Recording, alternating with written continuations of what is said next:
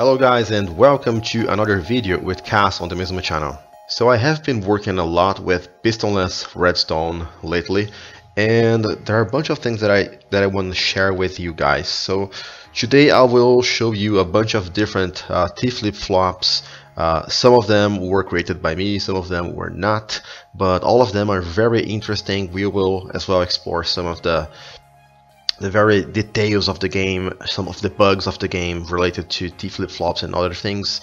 So hopefully you guys will be interested in what I have to show you today. The basic functionality of a T-flip-flop is right here. I click the, the, the input and it changes inside. So it's a kind of memory, a one-bit memory. And if I give it the exact same input, it changes the memory, basically switching it from one state to other. And here we have two good examples.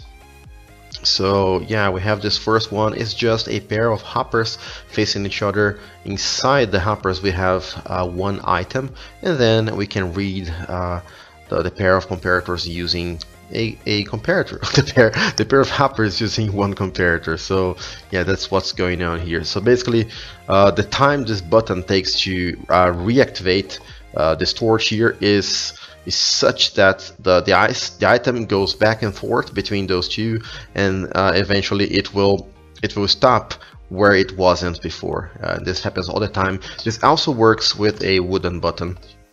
This is tileable by the way and let me quickly show you how you would go about that. So uh, to make it tileable just use repeaters and by tileable I mean you can stack them together side by side in such a way that they work independently. Uh, so let me use some support blocks here, place the hoppers here, and I hold shift and those are all connected. Place one item inside each of those.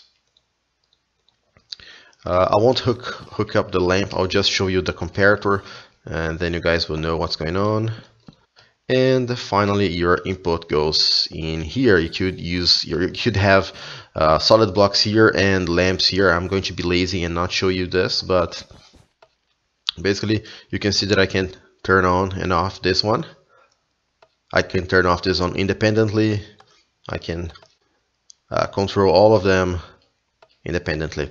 So one thing that you might not like about this design is that it flickers. So if you want to turn something something like this torch off, it will stay off, but before it does, it will also pulse the torch, which is something we usually don't want. So in order to prevent such behavior, uh, all you need to do is to place a repeater on 4 ticks in front of the comparators and problem solved. So look at this. This will still blink, but it blinks too fast for the repeater to turn off or on and then as a result uh, the, the, output will not flicker. Uh, another interesting thing that not a lot of people know is that uh, the timings for this thing uh, are are the exact timings that you need to control a double extender. Uh, let me show you this. So it's just a T flip-flop, but it, it will it will do a full retraction on a double extender, as you guys can see here. And this is stackable, expandable, and all the redstone is on one side. So let me. So yeah, I cannot retract uh, those because this is budded. As, as you can see here, this is powered. So this will update and break, but I can I can unpower this one. And if I if I use this one in the middle, it will it will break the other two. Uh, what else? If I want to do the extension, I have to click this three times if I'm not mistaken. So, so state number one, state number two, and then it gets extended. Yeah, so three clicks to extend and a single click to retract. Pretty interesting, huh? So on this other side here, we have still an, another very popular uh, design. Uh, this is a dropper facing up and yeah you can see where this dropper is facing it's sideways and then this is a hopper connecting back into this uh, dropper and yeah it just spits out an a item but this is not really stable. This is not the best way of powering this. The actual best way of powering uh, these kinds of uh, T flip-flops is by using a strong power from a repeater exactly here on the side on one of the sides. This is the best way of powering them because powering them like this, like using redstone dust on top, uh, this won't work all the time. So let me just hook up uh, this with a torch and let's see if this will break. I haven't tested this in this specific position. So it turns off and it turns on. So yeah, it works here, but trust me, it, it won't work everywhere and you won't understand why. And the reason is this redstone does here, it doesn't know if it, it if it wants to power this guy or this guy first. This is probably what causes the problem. I'm not sure, but uh, I'm just telling you that this causes problems. So if you want this to be 100% stable, uh, power it using a repeater, it will never fail. Uh, also, not everyone knows, but uh, this design is actually tileable. I have some people, some people told me in the past that this is not, those are not tileable, but they are actually tileable. Uh, you cannot power them using a bunch of repeaters like this because, yeah, this block will power the, in a block next to it, but there are other ways. I will just show you now by once again building uh, three copies of this, and this is so easy to build and like this. Ah we don't need those uh, those. Let me check if I have only one item here. As you can see here we have two items. It's very important that we have only one item inside this little box. And here the way to power this and make it tileable is just is simply by using redstone torches here and solid blocks here. So uh, yeah, I will I will have the, my inputs back here. Doesn't matter. So I can power this one in the middle uh, if I can hit the button, and I can power this. I can empower this one, and yeah, this way they all work as tileable units. And something that not everybody pays pays attention to is sometimes this the item that that gets shot from here will fly away and you don't want that so uh, you would like to have a, for example, how do you, is it chest minecart? Yeah, chest minecart. So just just have a, a chest minecart here on top, and the item will be will be spit out inside this little chest here, and, and you will never lose the item. So it's more stable if you do like if you do it like so. So there you go. Now let's move on to a different kind uh, of T-flip of silent T-flip-flop or pistonless T-flip-flop. Uh, the ones based on clocks. So yeah, this is a rising edge version. So yeah, this is all that you need to make this work. So it's a hopper dropper little combo here and uh, you have one item inside this and this works as a repeater lock. It's not a repeater, but it will lock uh, this repeater here. And here we have a clock. So if you if you break this, this will actually uh, act as a clock. So yeah, you just lock the clock, and the principle in, uh, which this is based on is uh, we will let the clock do a half cycle, and then we will lock the repeater again. So it will it will lock the state of the clock in a different state uh, compared to the compared to the previous state. And this is how this works. Pretty cool pretty neat. Uh, this is really cool. This is works even uh, with a zero tick input which is something that usually uh, silent uh, silent uh, silent what, what, am I doing a video about even? Silent T flip-flops I'm sorry guys are not able to do because you know pistons and yeah so this will create a zero tick pulse here. And we can see that the lamp turns on the lamp turns off because it's based on a dropper hopper thingy here. So it doesn't matter the size of the pulse as input because the size of the pulse is actually controlled by this. Except if you power this directly. Never power uh, this using strong power. Always use a block or a torch or something like that you know and then you will be safe uh, this is another design that I came up with just recently. Uh, and the difference is uh, instead of using a block here and a redstone torch I use a comparator here. So it's also a clock based thingy. Let me see if I'm able to. Yeah you can see here. The difference is if you if you have a clock running that fast using torches it will burn out. Let me just place a torch here and try to demonstrate this. Please burn out. Yes, it burned out. You can see it, doesn't respond to any pulses anymore.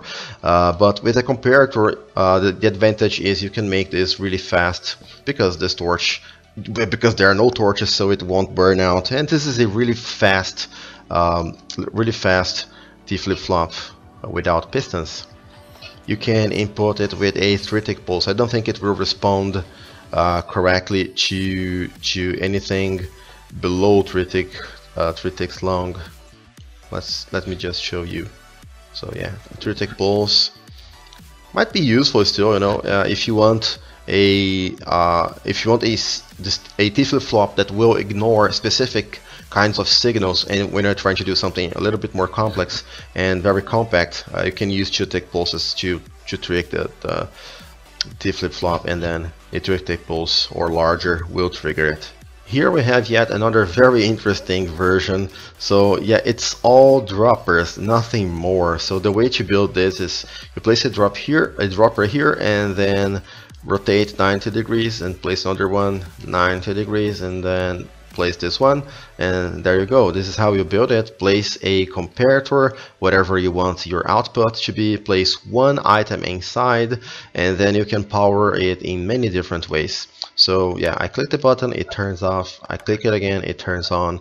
Same for all of those locations but there is an exception. Uh, like you can see that the system is completely symmetrical so there shouldn't be any difference here but there actually is. If I press this button now it turns off. And if I press it again it won't turn on.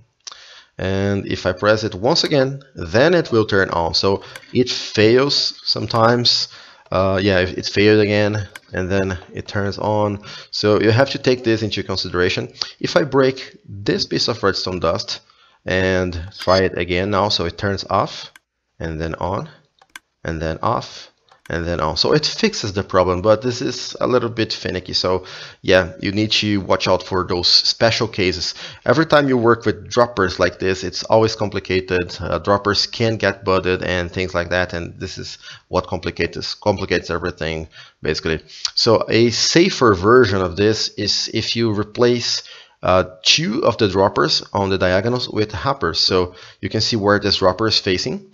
And then there is a hopper, dropper, another hopper. And then we're back here. And this is how I'm powering it. So this is a lot safer uh, if you want to use this kind of T flip-flop.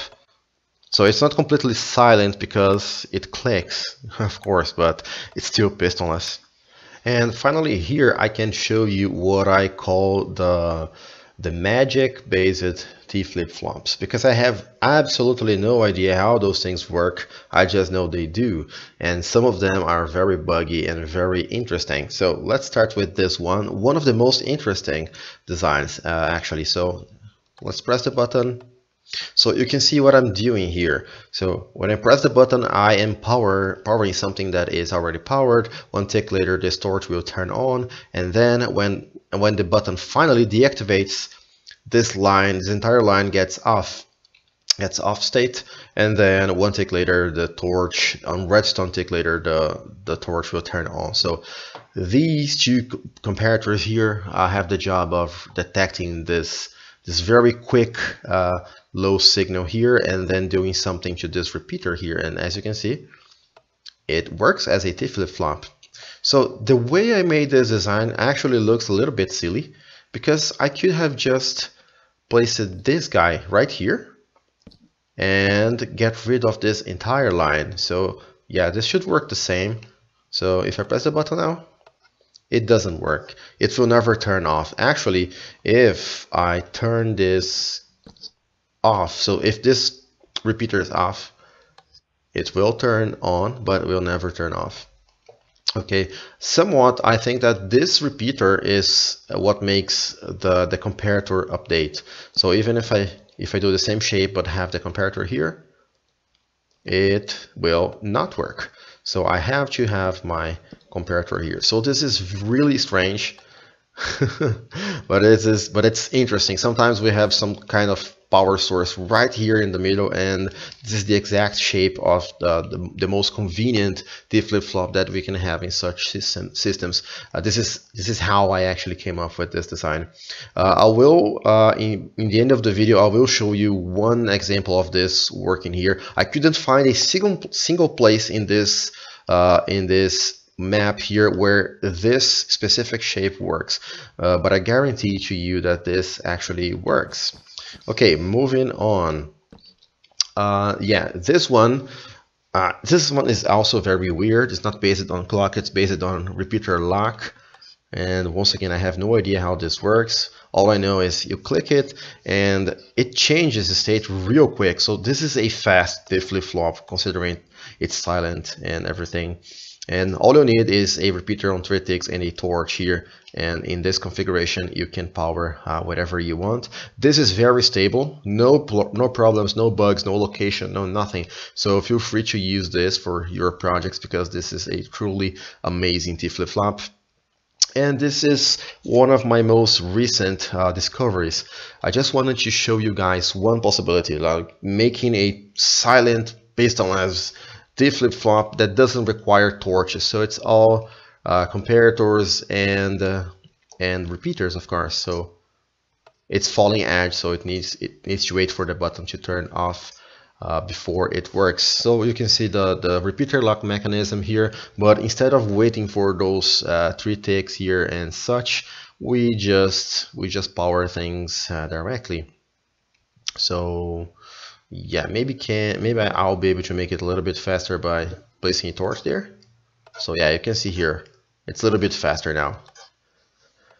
Okay, uh, as I told you before, I couldn't find a single place where this thing works, so I actually had to log onto my server, uh, and this is the design. So you can see that the, the repeater is off, and if I click the button, now it's on, and now it's off. So it works perfectly.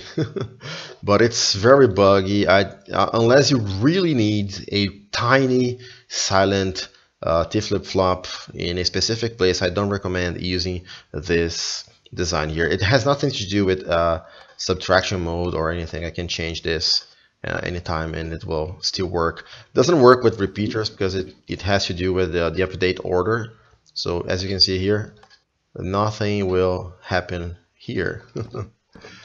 um, yeah, uh, even if I change this, so you'll see the configuration I'm using here. If I press F3, you can check out my coordinates. I don't know if it has to do with the, the Z coordinate being negative. Maybe it has to do with this uh, for the update order. Uh, so if I invert the torch, so it's the same circuit, but now the torch is on this side.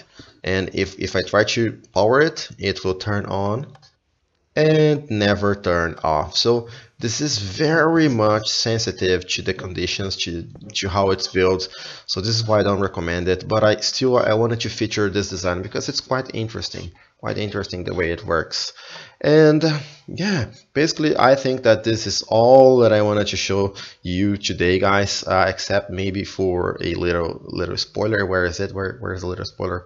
I think it's up there. Yeah you guys can't see because I'm not lo loading as many chunks.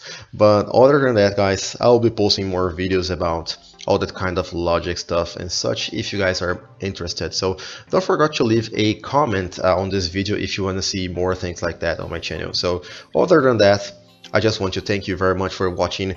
If you like my channel please subscribe. I will see you next time. Bye bye